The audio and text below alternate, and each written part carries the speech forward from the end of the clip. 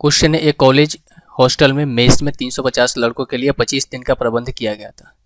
10 दिन के बाद क्या होता है, जब कुछ लड़के को दूसरे छात्रावास में स्थानांतरित किया गया तो पाया गया कि 21 दिनों का प्रबंध और है।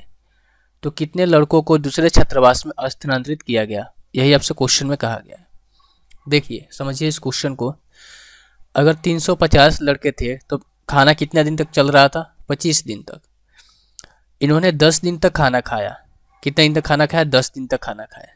ठीक है? दस दिन के कहानी, दस दिन के बाद क्या होती है? कहानी गड़बड़ हो गई।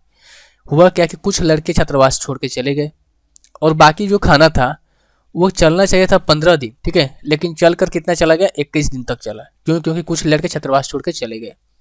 अगर ये छात्रावास छोड़ के न गए रहते तो खाना कितने दिन तक चलता? सिर्फ़ और सिर्फ़ पंद्रह दिन तक ही खाना चलता। यानी कि हम, मैं आपसे ये कहना चाहता हूँ कि 350 लड़के थे। अगर इनमें से कोई भी लड़का 10 दिन के बाद नहीं छोड़ा रहता, नहीं छोड़ा रहता तो ये चलता कितना? पच पंद्रह दिन तक ही खाना चलता। लेकिन हुआ क्या कि पंद्रह दिन के बाद कुछ लड़के चले गए। हमें नहीं पता कितने लड़के चले गए। और खाना कितने दिन तक चला? पंद्रह दिन के अलावा कितने दिन तक चला? इक्कीस दिन तक चला।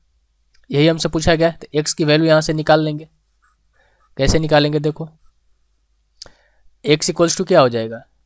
ये हो जाएगा तीन सौ पचास गुना पंद्रह बटे में हो जाएगा इक्कीस। काट लेंगे तीन से तो सात बार में कटेगा, या पाँच बार में कटेगा, सात से कितने बार में कटेगा? पाँच बार में। कितना हो जाएगा ये? दो सौ पचास। कितना हो जाएगा? दो सौ पचास।